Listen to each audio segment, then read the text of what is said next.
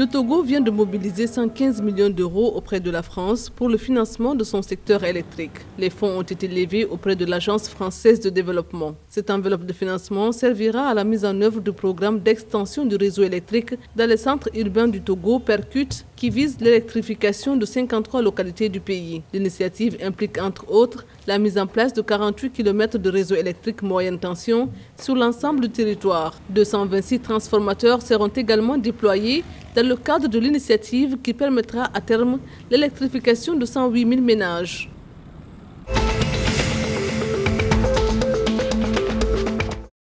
La région de Dosso au Niger a procédé au lancement de la mise en œuvre des sous-projets de gestion des ressources naturelles et d'intensification agricole initiés par le MCA Niger. Ce projet devrait permettre la réhabilitation de plus de 20 000 hectares de terres dégradées dans les communes de Tessa, Moko, Tombokware 1, Tombokware 2 et Kargi Bangou. Ce vaste programme concerne les régions de Taoua, Tilaberi, Maradi et Dosso. Au total, ce sont 70 000 hectares de terres dégradées qui seront récupérés pour les besoins de l'agriculture et de l'élevage. 420 périmètres seront irrigués et 280 champs écoles paysans seront installés. À tout cela s'ajoute la distribution de 9500 kits de petits ruminants.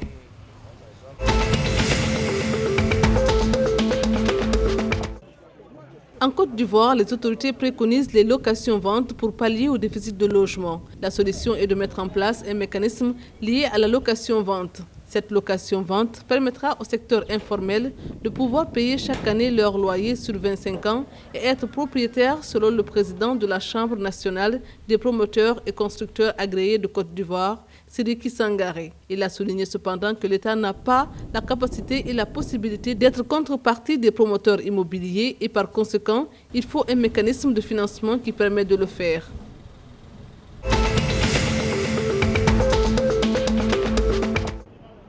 La ligne de chemin de fer en écartement standard entre le port d'Apapa et Yaba devrait entrer en service d'ici la fin du deuxième trimestre 2021. C'est ce qu'a fait savoir Ni Ali, directeur des opérations de la Nigerian Railway Corporation.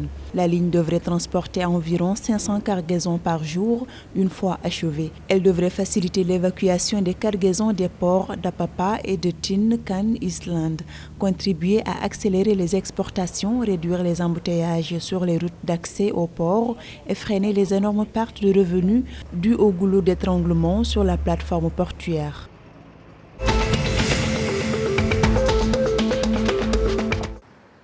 Les autorités de l'université Cheikh Diop de Dakar se sont engagées à soumettre au conseil restreint de l'université la levée de la suspension des amicales et la poursuite du processus de renouvellement de ces instances en contrepartie des engagements pris par les étudiants. Le conseil restreint de l'Assemblée de l'UCAD avait décidé mercredi de suspendre toutes les amicales des étudiants jusqu'à un nouvel ordre. Et ce suite aux scènes de violence survenues au campus social dans la nuit du jeudi 24 au 26 mars et qui s'était soldé par le décès d'un nommé Ismaïla Gaoussou Djemé le dimanche 11 avril 2021 des suites de ses blessures.